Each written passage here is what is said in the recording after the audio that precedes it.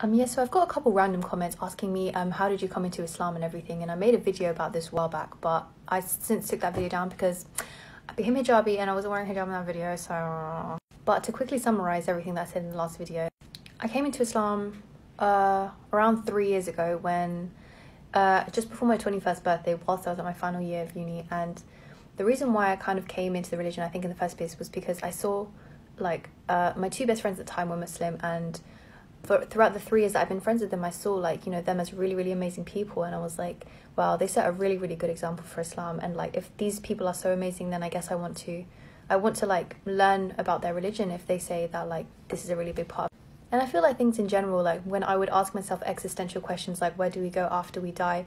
What is the purpose of life? What is the meaning of life and everything? Like I really was searching for these answers and I felt quite like empty inside. I mean like the everything I was just doing in my life back then, I was just not very proud of and kind of did without thinking about the consequences. Um, and for me, Islam provided all of those answers and so much more. Like, Islam is the single most important thing in my life that has given me meaning, that has given me purpose, that has completely like changed my perspective on the world. Um, and I'm so, so grateful, alhamdulillah, that I've come into Islam now so early, so like so young. Like, I was blessed to come into Islam so young. Um, and obviously, there's more things. I think, you know, over the course of three years, I started to think about the idea of like religion and God. And um, it was from a very much like a holistic point of view. I wasn't really concerned about the rules and the regulations of what is haram, what is halal at the start. It was more about just developing your own personal relationship with God, and then all the rules and stuff became after. Um, and because I had done that conditioning of the heart, I think um like at the start all the rules and regulations became like easier i think in my opinion. And yeah there was more things but that in summary is how i came into islam. And a lot of people have asked how like my family took it and how my parents took it. So um if you didn't know i'm half colombian half chinese and my parents were separated. So i kind of had to come out to both sides of the family like at different times. So my mom's side of the family they were amazing. They didn't really say too much about it. They were just like okay cool yeah whatever. And i was like okay great. And they took it really well alhamdulillah. But like then my dad's side of the family, who and people might know like South American people, um, Colombian people, Latino people are more often than not Catholic, and I don't know, it was much much harder to come out to that side of the family. Um, mainly, there's a couple people in particular that I can think of that I was so terrified to tell, but um, after after a while, after a rocky start, they eventually came around to the idea of me just being Muslim, and after a while, the next hurdle was you know, telling them that I wanted to put on the hijab, and they were like, ah, oh, but you know, alhamdulillah, they took it really well after you know working on it for a little while. Um, but in essence, that is a really short summary of how I came into Islam and my journey and everything. And uh, yeah, hope that. It's actually a really crazy story because subhanallah, I hated Islam so bad when I was younger.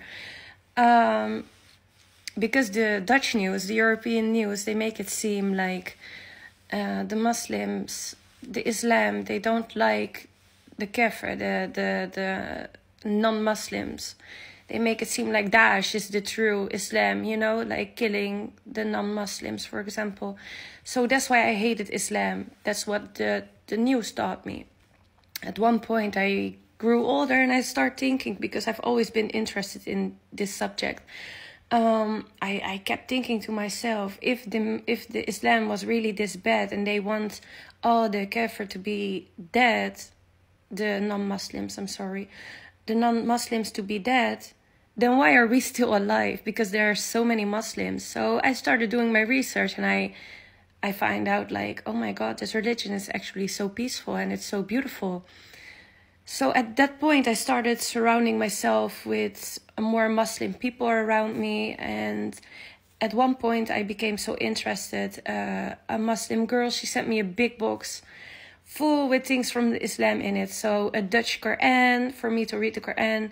Uh, this, for example, 123 a hadith, uh, the book of Prophet Muhammad, peace be upon him, everything, hijab, prayer mat, everything and that's when I converted. That's when I said the Shahada. I say the Shahada in, in my room alone at night. I didn't even go to the mosque. Um, because in Holland, it's Holland, you know. You, you didn't grow up with the Islam next to you. I didn't feel acceptance, even though Alhamdulillah, I have great friends. They accept me for who I am. I'm happy I can talk to them and they will always accept me. But when I came to live here in Tunisia, it became so much easier for me to follow this religion. Um, because you just feel accepted because everyone around you, almost everyone here in Tunisia, is Muslim, you know? So, yeah, I think that's a little bit of how my story went. It's not in a lot of details, but it went like that. And subhanAllah, I'm so happy I came across this beautiful religion. And I'm so happy I turned my head around and like really researched everything before I started hating something that I didn't even know, you know? Um, so I, I really think that was with a meaning that I hated it. I needed to hate it to find the beauty in it. You know what I mean? Yeah, alhamdulillah, I converted. And alhamdulillah, I'm living in Tunisia to make it more easy. Okay, y'all. I'm trying so hard not to make this a two-part video because I hate two-part videos. So I'm going to talk really, really fast, try to keep up. Okay, so 2019, I was struggling with my Christianity and um, just I wasn't feeling it. There was Jesus was not in my heart. And I met some Muslims who kept on making references to Islam and to their culture and things like that. And I was just curious. So I bought a book and I was reading the book. It's just a history of Islam. And um, it took me a while to get through pre-Islamic Arabia because that's really boring. So now it's probably the spring of 2020. And um, I was dating my now husband. And uh, I kept on asking him questions. And so finally he says to me, just go get a copy of the Quran and read it. I'm like, okay. So I did. And one day I was reading through the Quran, which is a hard read, by the way. And that feeling, that, that feeling of God just, just kind of hit me. And I'm like, oh my God, where's my Bible? And so I run and get my Bible and I open my Bible to my favorite chapter and start reading. And the feeling just kind of fizzles out. And I'm like, so this happened like three or four times, and then I finally start connecting the dots that it always happens when I'm reading the Quran, and it always fizzles out when I put it away.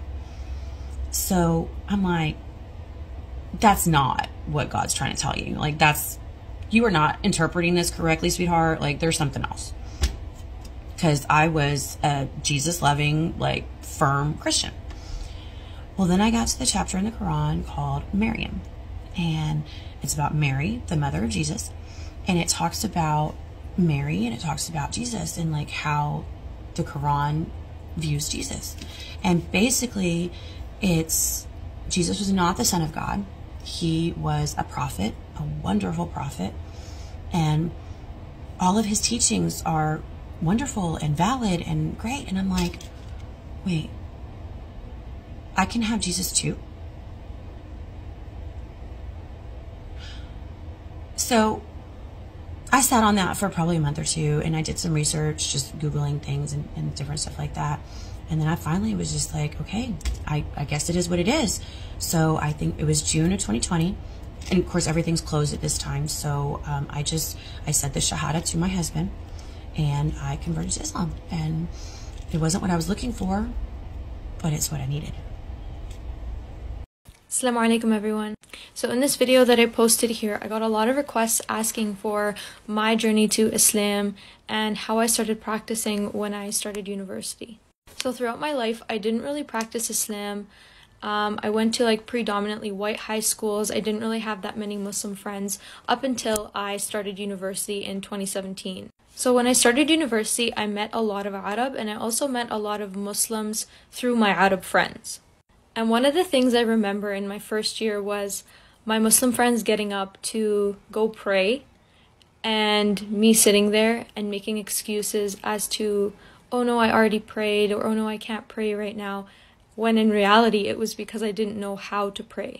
I had known before, but I had just forgot because of all these years that I wasn't practicing. And this was kind of like my light bulb moment as to be like, okay, but why aren't I like why aren't I praying? Why aren't I prioritizing my salah? So I actually reached out to my best friend and asked her if she could help me remember and teach me how to pray again. And slowly, alhamdulillah, I went from one prayer a day to two prayers a day to three to four, all the way to five in a span of a few months. And ever since then, I have been praying five times a day, alhamdulillah. I won't lie, in the first couple years, I had a lot of trouble waking up for Fajr.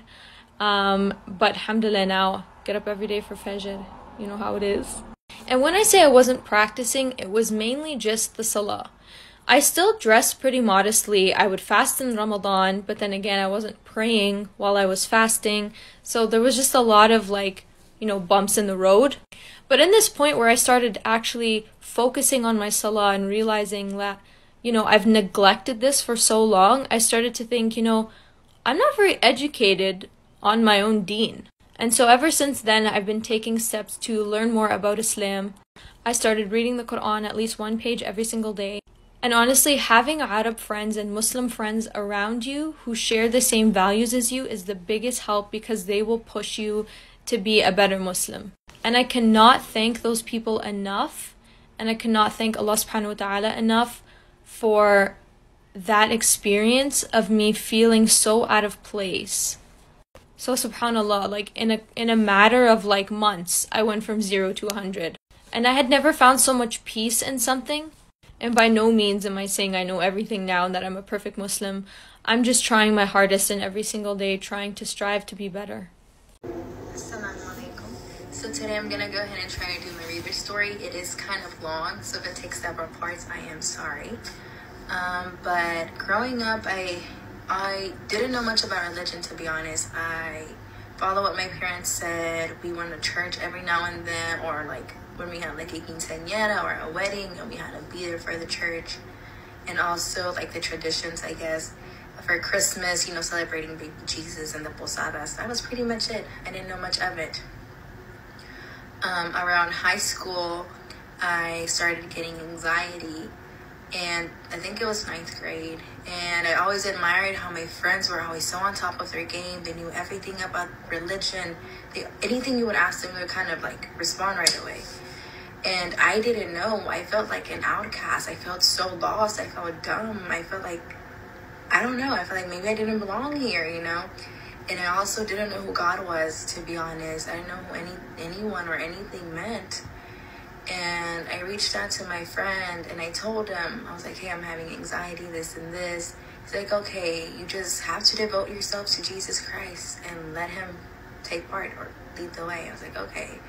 So on this day, um, I, we went after class and he took out a piece of notebook paper and he was like, you know, just write down this and whatever. So I was like, okay. On this day, I, Aileen Contreras, devote myself to Jesus Christ, my Lord and Savior. And I was kind of like, well, what's next? And then he's like, well, you're saved. Like, that's that. I was like, oh, okay. Um, I tried reading the Bible. It didn't make sense. I, it honestly never made sense. Um, it felt like I was reading blank pages, and I tried reading different versions. I thought it was just the versions that didn't make sense, but no, nothing clicked. Um, so I downloaded like daily Bible verse reminders. So I was like, okay, well, that counts as something, right? Obviously, it didn't. Um, around my junior year in high school, I met my best friend um, she's she's Muslim, and I admired her and her friends. You know, they were always they're always on top of their game. They would pray, and they were wearing hijab, which is what I admired the most. They look so beautiful, and also during like the month of Ramadan, I was always very very curious, and I was like, well, we have Lent. It's kind of the same. It's not. Uh, I tried to fit in, but I was like, I was too afraid to gain too much knowledge because growing up, it was very, very taboo if you even seeked or like looked into another religion, according to my grandparents. And I remember it always stuck out to me that my grandma once told us as kids, if you know, if you even go into a Christian church, you're going to hell. So imagine going to hell for just going to a church. Grandma once told us as kids, if you know if you even go into a christian church you're going to hell. So imagine going hell for just going to a church to literally converting or like seeking another religion that's not catholicism. It's like whatever i just like put it to the side. I thought they were just like thoughts. Well last year i got really into it again and i wanted to keep learning about it and i seeked out to my friend i asked her if she could give me more knowledge and she did um, bless her soul. she's been with me throughout my entire journey. And so what we did, we did FaceTime calls, and this was during the month of Ramadan last year. And we would do FaceTime calls, and she she always told me from the very beginning, you know, I'm telling you this to teach you or to like educate you. And you know, if at the end of the day or after at the end of this like journey, you're like, hey, it's not for me. She said, it's completely okay. My feelings aren't gonna get hurt. It actually helps me. So I was like, okay. So we started, she broke down every single FaceTime call into such ease. Like she would make like each top each day was an each uh, different topic.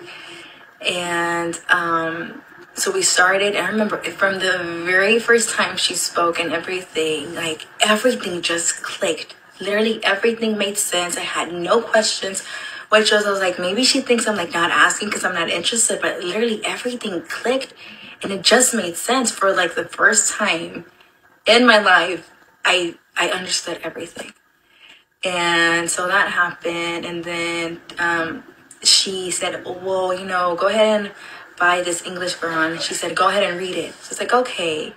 And then I would read it, and then sometimes I would like ask, like write down my notes on my notes and ask a question. Be like, okay, once we FaceTime, I'll ahead and ask this question. And I kid you not, I'll write down the question, and as soon as I would turn the page, my answer was right there, and it's it just amazed me. Like, it, like it was kind of like freaky in a way, and um I even fasted during the during last year and it was just like okay and honestly everything started to make sense. Or I started to fall into place. And i knew i wanted to convert. I was just very very afraid. And i told my friend i was like hey um, i want to but i'm not ready yet. She said that's completely fine. Take your time. Uh, july 5th of last year um, i was in my last mm, semester of nursing school. And I, the whole back of my head went completely numb. I thought it was a tumor or cancer. I started freaking out. I got rushed into the ER. And there I was in so much panic because all by myself. I was literally all by myself. In so much panic because all by myself. I was literally all by myself. I didn't have my mom. I didn't have anyone with me. And when they took me to go do a CT scan, I broke in front of the nurse in the, or the tech, I can't remember who it was. I literally broke down in front of her and I felt so debilitated. I felt so stupid because I was like, how am I about to be a nurse? And here I am crying in front of this lady to hold my hand because I was so scared. So I lay down and I'm literally shaking. I thought I was gonna fall from my from the wheelchair to, to just laying down. I, I was completely shaking like head to toe. So I lay down and I was like, God, like, if you're here with me and like everything is gonna be okay, and I know you're not gonna leave my side, give me a sign. I said, give me peace. Let me be calm. I said, ease my anxiety, every ease every feeling that I'm feeling right now. And I kid you not, as soon as I was done saying it, I felt so much peace in my heart. And it's a peace that I've never ever felt. And I was like, okay. I was like, it's my sign not only like that I need to convert. And then after that, um, I texted my friend and I told her what had happened. And I was like, I'm ready. I'm really, really ready. But it doesn't feel right if I go and convert without you by my side, since you know she's been my teacher this whole time. So she, she, luckily, she flew down uh, around that month. She doesn't live in Houston and you know we went to the masjid i took i, I took shahada and that's it and that's how i became a muslim